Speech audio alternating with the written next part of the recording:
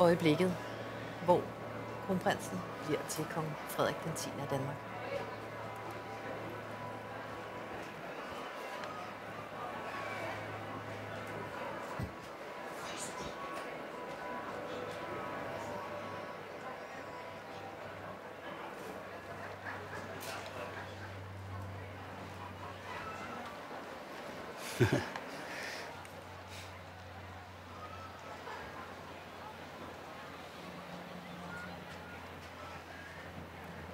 med et pennestrøg.